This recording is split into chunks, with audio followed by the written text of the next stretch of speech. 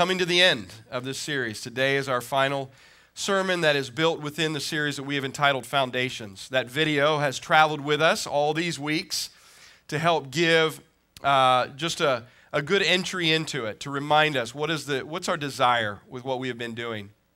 If you've not been with us up until today, the sermon series that we've entitled Foundations has been an attempt to give attention to and explore the depths of the doctrines of this church, the doctrines of Faith Christian Fellowship, and what that represents as far as the doctrines of our faith as believers in Jesus Christ, which we hope are one and the same.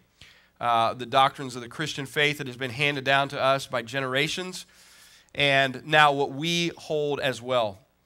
Uh, there have been some things within these doctrines that we've, we've taught as essential.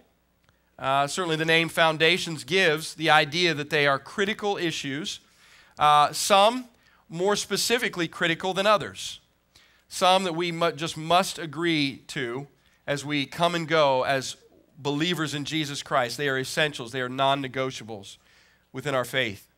Others have been the teaching doctrine of this church, which might be different than your own experiences or than other brothers and sisters that we know in Christ. Absolutely. Destined for heaven and eternity spent with our Heavenly Father, but different belief, different, um, different ways of viewing. And some of those doctrines that we've shared over the last several weeks have fallen into that, ca- that category. We felt that it was still equally important that we, you know the teaching doctrine of this church. And that's been the desire that we have given to this. The video has always given an allusion to, it was a, a message that uh, Pastor Kyle gave us back in September, early or late September, on uh, out of the passage of Matthew chapter 7. The video described it that of being of the two builders that Jesus referred to. One, a wise builder who built his house upon the rock, and in doing so, found it to be able to withstand the storms that come and, uh, and held because of that foundation of rock. And the other was a foolish builder, one who built his house on shifting sand on the ground that is unstable. And so, therefore, when storms come, that house could not stand. One was wise and one was foolish. And Jesus said in Matthew chapter 7 He who, who builds his life essentially on my words and obeys my words, his life is an expression of obedience to my word. He will be like that wise builder who builds his house upon the rock. And sadly, some that we know are choose the other, and that's that's the difference. And so that's been our core passage. I want to give a lot of commendation and gratitude to Pastor Kyle, who was really the architect of this series. Uh, the reason I say that is because today's doctrine is our final doctrine, uh, but it actually draws us back up near the beginning. And the reason why is because it's a tremendous transition from a very deep and theological series that we've been in, the Foundation series. But we are at what? December 20th, five days away from one of the most celebrated holidays in our culture and certainly for us as believers in, in Jesus Christ. And so this transition is really, I commend him for, for seeing that and foreshadowing that, so that as we come today, uh, it has both the conclusion of our Foundations series as well as a as a foreshadowing into the celebration that we have later this week of the birth of our Savior, Jesus Christ. And draw your attention, if you would like, to up to the screen. The doctrine that we're looking at today is the third doctrine of our Faith Christian Fellowship doctrinal statement.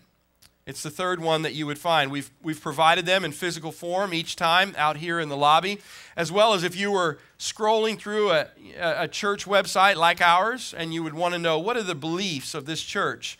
Well, there is a doctrinal page, there is a beliefs page out of which this comes. And the third one that is listed is the person of Jesus Christ, his preexistence, his deity, and his incarnation.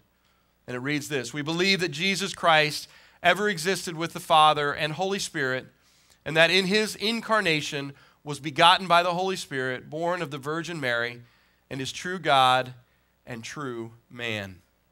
And that's what we're going to look at today the person of Jesus Christ.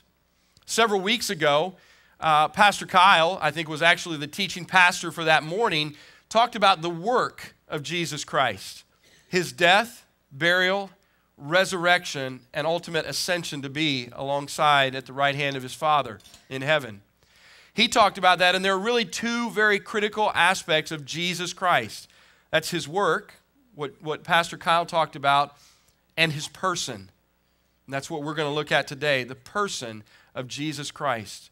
And it speaks very specifically to our Christmas celebration. So it's a wonderful bridge from a very deep theological sermon series into an enjoyable celebration of the birth of our Savior.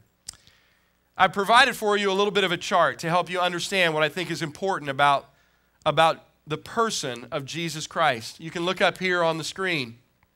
The three elements that were included in that statement were this his preexistence, his deity, and his incarnation.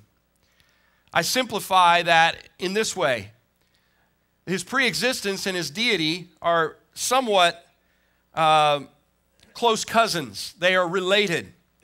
His preexistence, that which it was, it, he preexisted before his birth, as we know him as Jesus of Nazareth. His preexistence was one of eternity. And in that, it is related very closely to the idea of him being God himself, the second person of the Trinity, Jesus Christ, the Son of God. The other half of that is his incarnation, his arrival as Jesus of Nazareth. The word became flesh. We'll talk about in just a moment. This idea. If you were to divide or simplify it a little further, it would be this that because of these two things, Jesus is both fully God and fully man. The doctrinal statement said true God and true man, another appropriate way to describe it. That Jesus in his person is 100% God.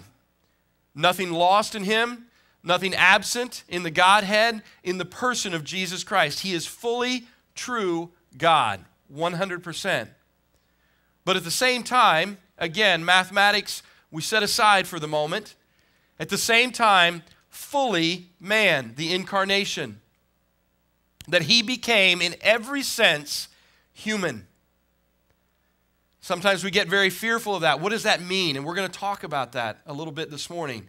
That he was both fully God and at the same time fully man in every sense.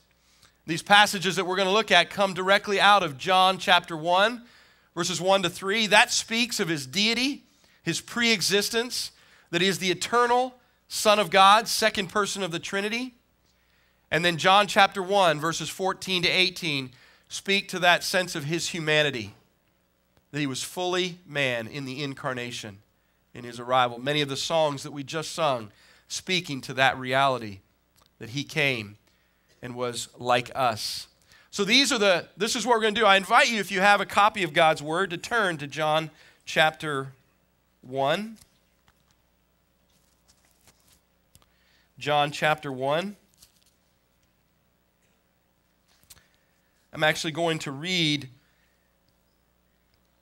verses 1 to 18, and we will focus in on just a few of these critical verses in the teaching time, but I want to read it, want us to read it together. So if you would stand with me. If you have a copy of God's Word, I'll be reading out of the New American Standard Version, out of the New American Standard Bible. I'm going to read. You may follow along on your, in your copy of God's Word or on a device on which you find it. John chapter 1, verses 1 to 18. In the beginning was the Word, and the Word was with God, and the Word was God. He was in the beginning with God. All things came into being through him, and apart from him, nothing came into being that has come into being. In him was life, and the life was the light of men. The light shines in the darkness, and the darkness did not comprehend it. There came a man sent from God whose name was John. He was as a witness to testify. He came as a witness to testify about the light so that all might believe through him. He was not the light, but he came to testify about the light. There was the true light, which, coming into the world, enlightens every man. He was in the world, and the world was made through him, and the world did not know him. He came to his own, and those who were his own did not receive him. But as many as received him, to them he gave the right to become children of God, even to those who believe in his name, who were born not of blood, nor of the will of flesh, nor of the will of man, but of God. And the Word became flesh and dwelt among us, and we saw his glory. Glory as of the only begotten from the Father, full of grace and truth. John testified about him and cried out, saying, This was he of whom I said, He comes, he who comes after me has a higher rank than I, for he existed before me. For of his fullness we have all received, and grace upon grace. For the law was given through Moses, grace and truth were realized through Jesus Christ. No one has seen God at any time, the only begotten God, who is in the bosom of the Father, he has explained him. Let's pray. Our Heavenly Father, we come today to dive ever deeper into the person of your Son, our Savior and Lord, Jesus Christ. Lord, may today be that bridge, as I've just shared, from the rich traditions of our, of our doctrines of the faith, the person of Jesus Christ, and our exploration of that truth, who He is.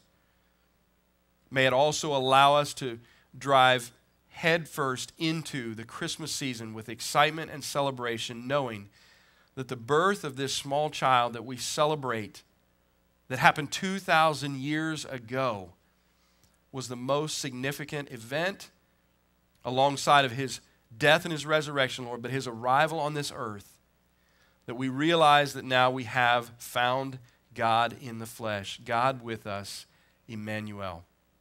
Lord, we pray that today would be an honor of that truth. In Jesus' name, amen. You may be seated.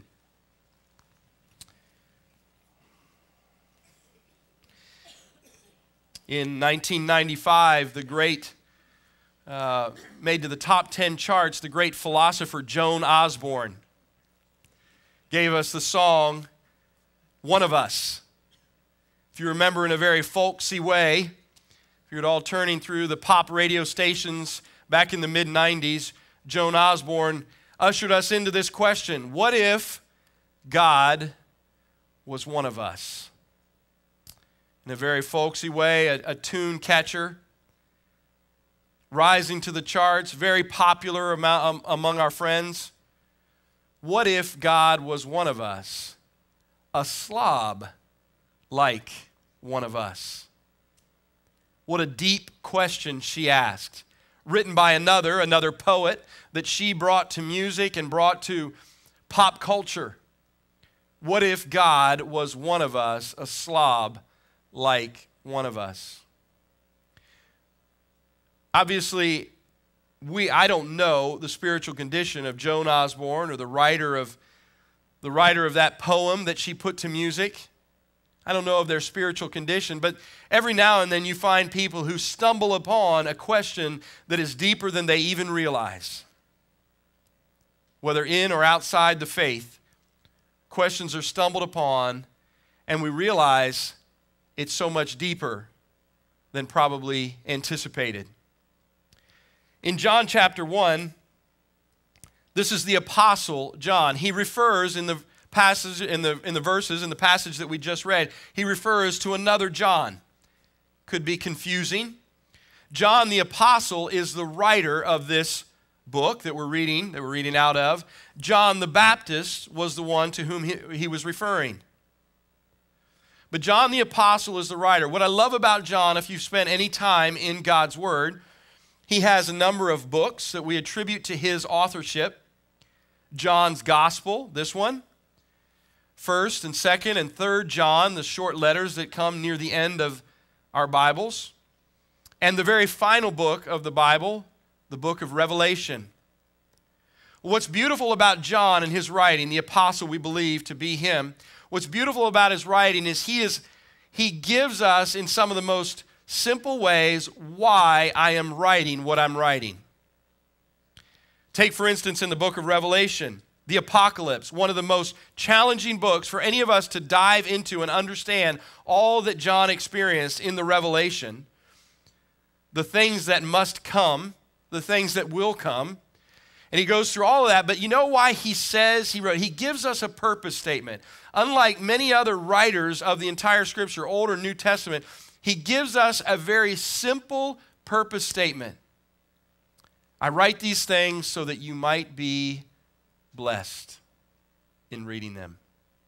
Isn't that amazing to take a book that so clouds our thinking and we, and we, we fight our way through it to understand what he's writing, that he's actually saying, I wrote the things of Revelation, I wrote those things that you might be happy, blessed. Isn't that an amazing thing? Well, he does the same thing for us in the gospel that he wrote, the stories of Jesus himself. For just a moment, I invite you to turn to the end of John, uh, almost to the end of John, in, in chapter 20. In two verses, he does the same thing with this book that he did with, like with Revelation. Why do I write this? That you might be blessed. That in reading these words, you might be blessed.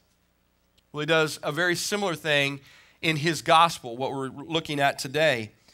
I read from verses 30 and 31 of chapter 20 of John, the gospel.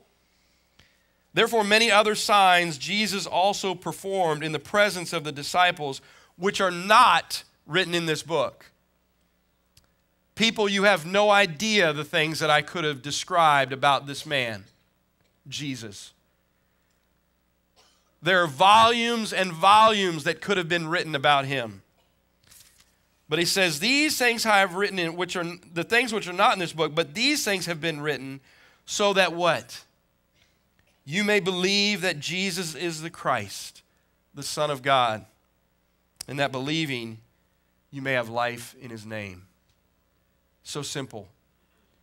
When you read the book of John, and granted, this comes at the end, I believe the, the purpose statement of Revelation actually comes in the beginning.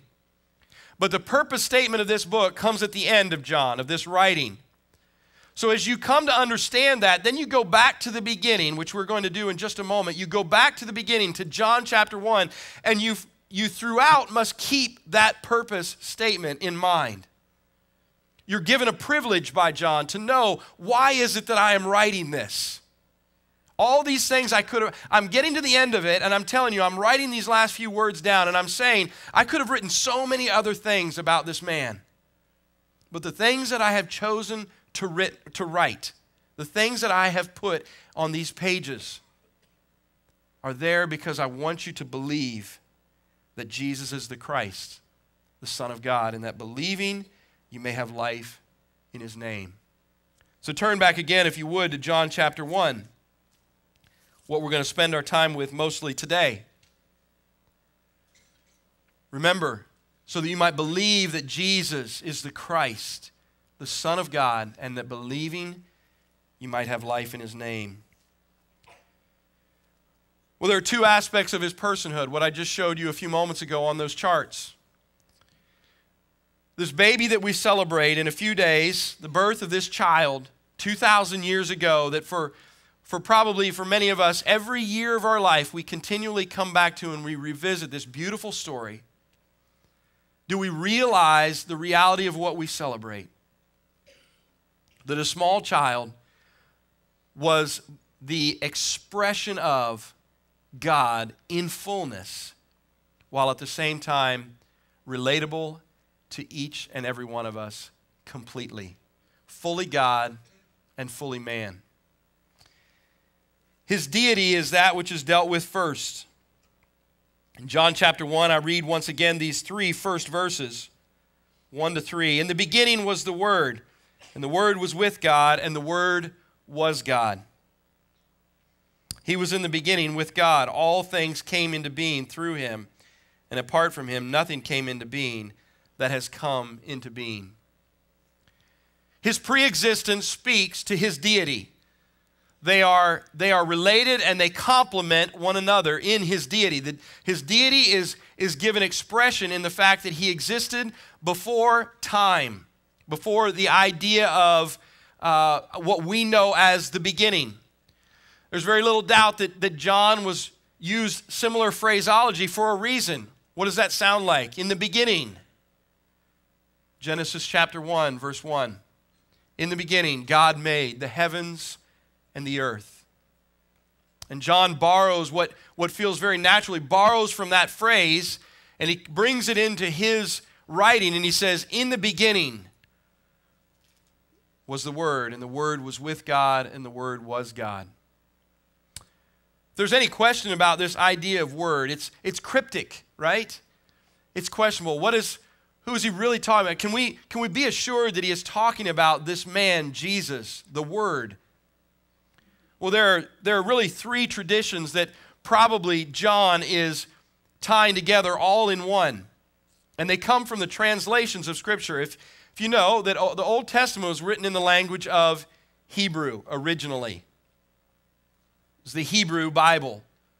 That's its language. It was also written later, translated into the language of Greek.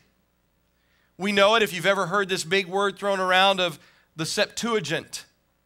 It's the Greek translation of the Hebrew Bible, the Old Testament. So you have it in Hebrew, you have a version of it in Greek, you also have a version of it called the Targums. It's the Aramaic translation of the Old Testament.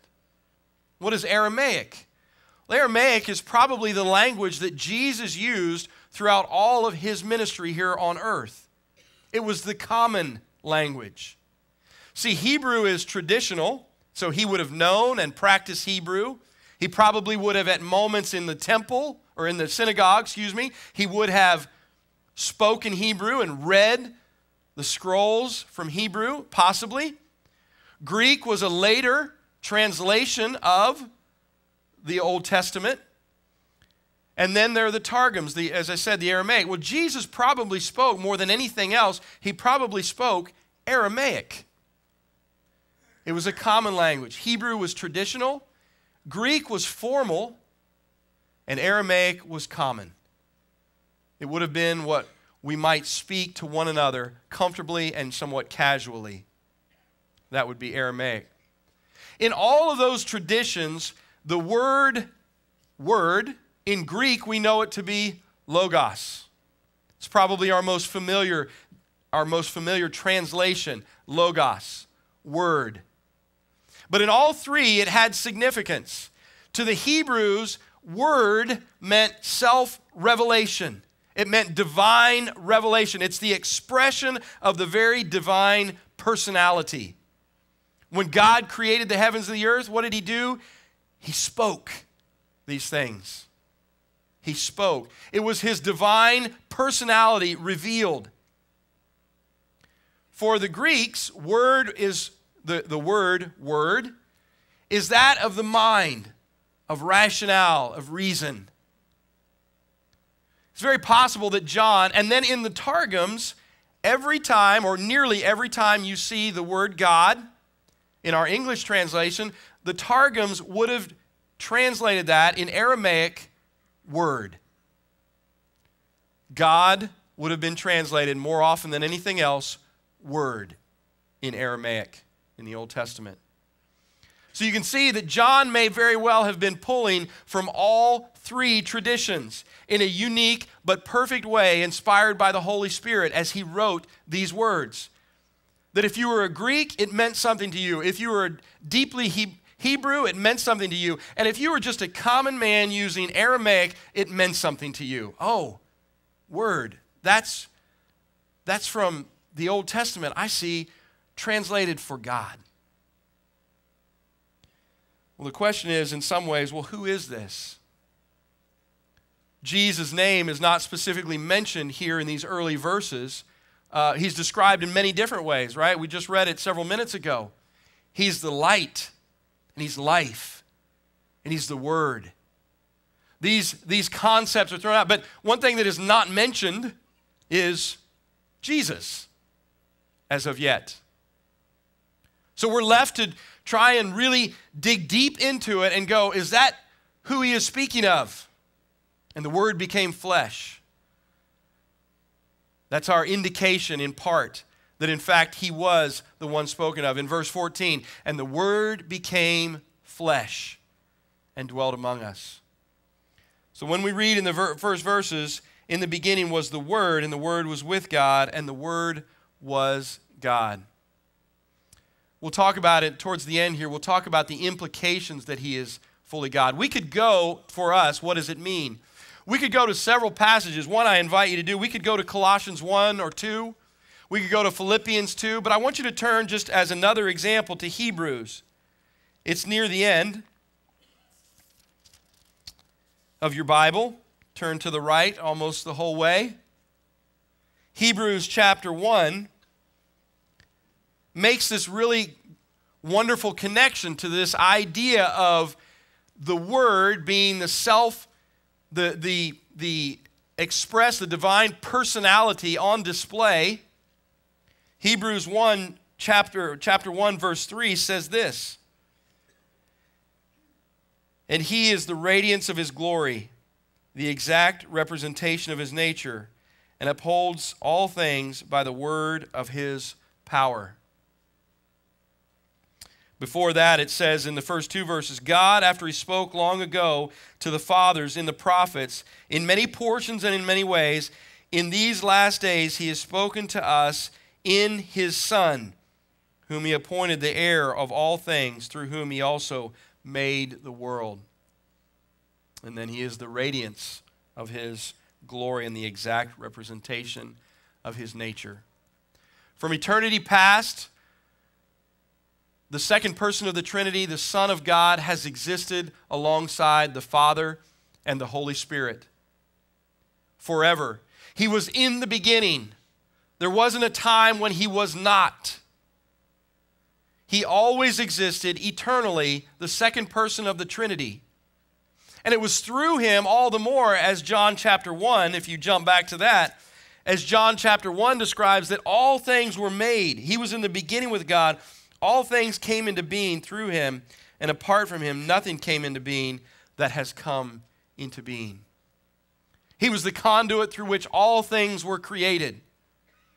He was uncreated, and he was the conduit through which the Father created all things. He was God fully, who was now in the flesh. Do you know that uh, the struggle with the two natures of Christ, which is what we're talking about the two natures fully God and fully man. Two natures.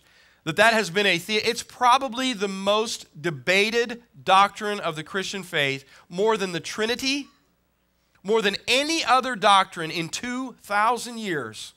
The doctrine of the two natures of Jesus Christ has been more debated than any other.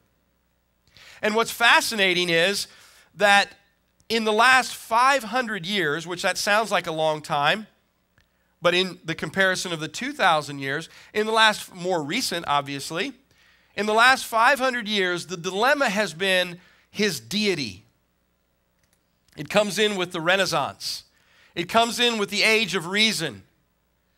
The idea being that the supernatural has now been surrendered to the natural. The natural is now what we find as more valuable. The supernatural is unknowable if it exists at all. There is nothing to really rely on in the supernatural. And so, in the last 500 years, we are products of the challenge of Jesus' deity. We are products of that. The challenge to think, if, if you think about going out and speaking among friends or or just knowing the, the arguments that are out there about our Christian faith from those on the outside and would be throwing rocks at, at our belief system, our faith. The issue is his deity, not his humanity. People love Jesus in his humanity, they love him. Oh man, he is good stuff. He's like chicken soup for the soul, right? In his humanity. We love his humanity we meaning society in general. We don't have an argument with that. People love Jesus. But because he is only human to folks like that, he is manipulatable. He is fully manipulatable. Because he's human, you can do with him what you want. He was a man, he was a prophet, he was a good teacher, he was a sage, a philosopher. He was kind, he was gentle. All of those things are true. But if he is only human, you can take and tear that apart just like we do with one another. I'll take a part of you and I'll leave another part behind, the part that I don't like. we love Jesus' humanity. We are products of the last 500 years of the supernatural being surrendered entirely, if not even completely done away with for the natural. And it's been a progression. 500 years ago, it might not have been a strong challenge. 500 years later, we can't hardly make a statement of the deity of our Savior. But do you know that in the first 1500 years, it was the exact opposite? In the first 1500 years, especially in the years immediately following Jesus' life, in the age of the disciples, the apostles, and then the church fathers, and, and all of the early theologians who had nothing other than the Old Testament and its revelation about Jesus Christ, and gradually letters starting to be circulated, which we know today as the New Testament. They didn't have commentaries, they created the commentaries. And you know that it was the exact opposite. They affirmed Jesus' deity. That was not nearly the difficulty. You know the challenge was? His humanity. What does it mean? For hundreds of years, they wrestled with the idea that God, which they had a much easier time believing that Jesus was in fact, God became man. They struggled with that. All sorts of heresies grew up out of this idea that God, the Son of God, the second person of the Trinity, Jesus, God's Son, was fully human. What does that even mean? Look with me, if you would, at John chapter 1, jumping down to verse 14. We struggle with John 1 1 to 3, that he was God, pre existent, eternally existing as the second person of the Trinity. We struggle with that. We are products of the last 500 years. Our predecessors of 1500 and 2000 years ago struggled with this. I read for you. And the Word became flesh and dwelt among us. What on earth does that mean? Back in the 80s and the 90s and even the 2000s, and now here where we find ourselves, there's been a series of movies. Many of you may have no desire to see them, and I'm totally good with that, known as The Terminator. Arnold Schwarzenegger, where he rose to fame. The Terminator. The idea behind the Terminator was a, as, was a completely robotic warrior that placed a thin layer of skin over top. What an interesting thought to have that movie in the last generation of our lives. That that was actually a, not the, the warrior, the robotic warrior, but the idea that God came to earth and may, in order for him to maintain all of his deity, which again, early, our early fathers were struggling less with than we do, to maintain all of that, all of the truth of his, all of his Godhead, that he was a full member, undivided in any sense, 100% God. In order for that to be true, how on earth could he be fully human? And so there were heresies that were to that very point that God simply put on a layer of flesh and he was shielded from us in all of it. Go to Matthew chapter 17 in the Transfiguration. The idea that Peter, James, and John witnessed this, this something of the, of the peeling away as though, as though there were slices in him and radiance began to, to blow out from, from underneath him. And they were terrified. They watched in a very unique experience. The one time they really saw it was the fullness of God peeking its way through, peering its way through but so, the early theologians and our, our predecessors, those who, who loved and were, were, were combing through the scriptures to understand what does it mean? And the Word became flesh and dwelt among us. We might not think of that as being so difficult. Again, ours is a different struggle. But theirs was trying to wrestle with what does that even mean? Did he have a, did he have a fleshly heart? Did he have did he have lungs and a stomach and intestines? The Bible speaks very clearly Jesus was hungry. He was thirsty. He was tired. He shed blood, real, live blood. And one of my favorites is I've had the honor of, of doing just a few funerals and memorials, and one of the passages that I go to in those moments is John chapter 11. Our Savior wept. He wept. I go that a lot of times when people are grieving the loss of a loved one, and to imagine do you realize that when he confronts Mary and Martha after the death of their brother, their beloved brother, that Jesus himself loved deeply? And he's now beginning to decay and smell in a tomb. And Jesus knows all along what he is going to do. He's going to bring Lazarus back to life for a time. But Mary and Martha are grieved. And he says, Mary, Martha, I am the resurrection and the life. And they said, We of course we know that.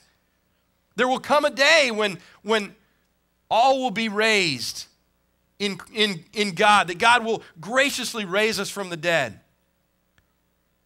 It says in John 11 35, the shortest verse in the Bible, Jesus wept.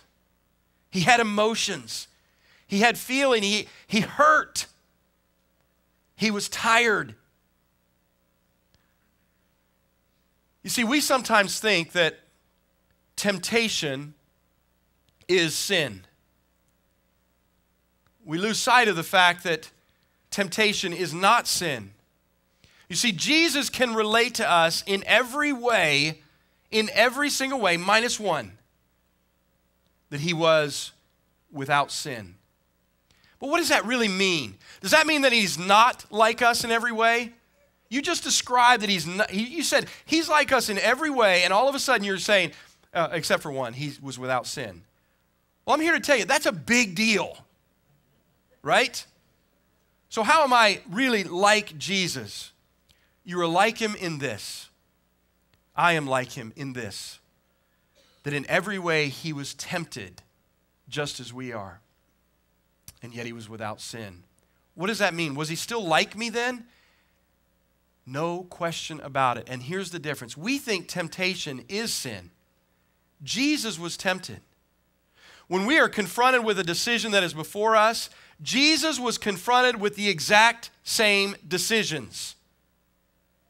There is nothing that we face that Jesus did not face. But here's the difference every single time he was presented with an option. That's what temptation is, right? It's options. I am tempted. Doesn't even have to be in sin. I am tempted. I'm presented with an option and I'm tempted to choose one over another. That's what temptation is. It's not sin in it. So Jesus is presented with options. And in Jesus' case, you know what he did? Every time he chose his Father. That's the difference. Every time he chose his Father. For us, we are tempted just like Jesus was tempted. And often we choose not the Father. That's the difference. We are given the same opportunity. In Christ, we are given the same opportunity. We can choose the right or we can choose the left in Christ. And sometimes, by His grace, we choose the right. We choose the Father. And in doing so, we reflect our trust and our belief in His Son. And there are many, many times, we know it well, where we choose other.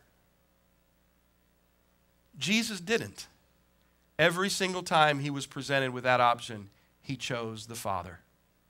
And hence, he was without sin. But in all respects, the Bible says Jesus can relate to us. He can relate. I want you to crack Bi- your Bibles on these pages that are, I'm going to hear them break right now. I want you to turn to Leviticus chapter 25. Let's just listen as these pages are cracked open.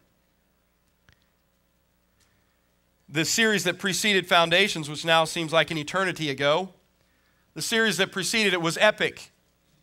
It was the conversations that Pastor Kyle, Pastor Brian, a few other that talked about those Old Testament stories that pushed us forward into, into Christ. And one of those, I think Kyle was actually the, the, the, the teaching pastor for the morning, was the story of Ruth and the story of Boaz. Bo- Ruth was that woman who was in distress, her husband gone. Now she's living with her mother in law. She's not an Israelite, she's actually an outsider, a Moabite, and, and she has no access to anything of God except by faith through the Israelite people, through the Hebrew people. And they're emptied, they're, they're helpless, they are widows. And there's a man named Boaz that gives us the type, a type of Christ, because he is called her kinsman redeemer. He's her close relative that is by design able to redeem her emptiness and her brokenness, her poverty. He, is, he has the right to do it because he is properly close to her. I want you to look at Leviticus chapter 25. In verse 25, it says, These are the instructions on what it means to redeem. These are the instructions. It says in verse 25 If a fellow countryman of yours becomes so poor he has to sell part of his property, then the nearest kinsman is to come and buy back what his relative has sold. These are the instructions. They're so poor that they have to sell what they all that they have, even themselves at times because that's the only payment they can even offer is their own person. The one who can redeem it, the nearest kinsman is to come and buy back what his relative has sold. Jump down to verse 47 of the same chapter. Now, if the means of a stranger or a sojourner with you becomes sufficient, and a countryman of yours becomes so poor with regard to him as to sell himself to a stranger who is sojourning with you, or to the descendants of a stranger's family, then he shall have redemption right after he has been sold. One of his brothers may redeem him it took, there was a qualifying characteristic about whether I could redeem you in that tradition. Does that make sense? It had to be, if you remember to the story of Ruth, Boaz had to actually go to someone who was slightly closer to Ruth and Naomi. Before I can redeem you, I need to find out is the one who is closest to you, can he redeem you? And in that story, it's told, and this is what they're working off of Leviticus chapter 25. I need to know, am I the right person? Maybe there's one ahead of me that is the one that should redeem you because he is closer to you. And so in Ruth's story, Boaz was not. Boaz was not the closest. And so Boaz went to the closer relative and he says, Hey, um, Ruth and Naomi, they need us right now.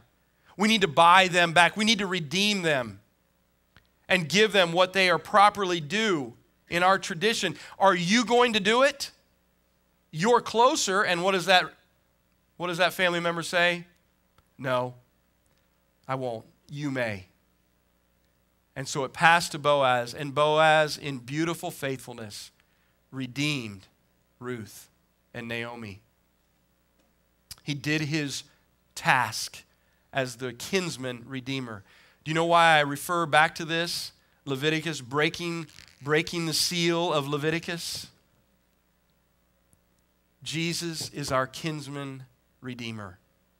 He is buying us back. And to do so, he had to be close to us.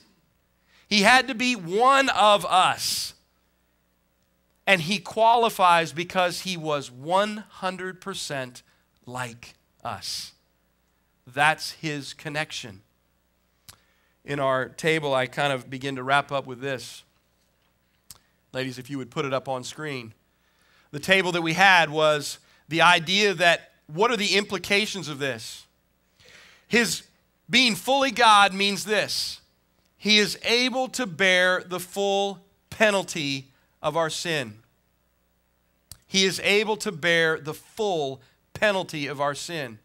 Only God can pay for what God demands. That's it. No one else can pay it. The history of the sacrifices of the Old Testament, Hebrews, the book of Hebrews, if we were to go and look at it right now, we won't for sake of time. The book of Hebrews tells us that while sacrifices were made, it wasn't the problem of the heart of the priest or the people all the time. There were times where they were completely um, unacceptable in their heart. The problem was is that the payment was not enough. It was the blood of a bull or a goat or another animal. And what God in his grace allowed was that that blood would do the very minimum that it could do, and that is roll the atonement for the future. That's all it could do. It could go no further than that. In His grace, God said, It cannot pay for the penalty of sin, but this is what I will allow it to do I will allow it to postpone the punishment of sin. I will allow it to move it one more year, and one more year, and one more year. It will never pay for it, but it can postpone it.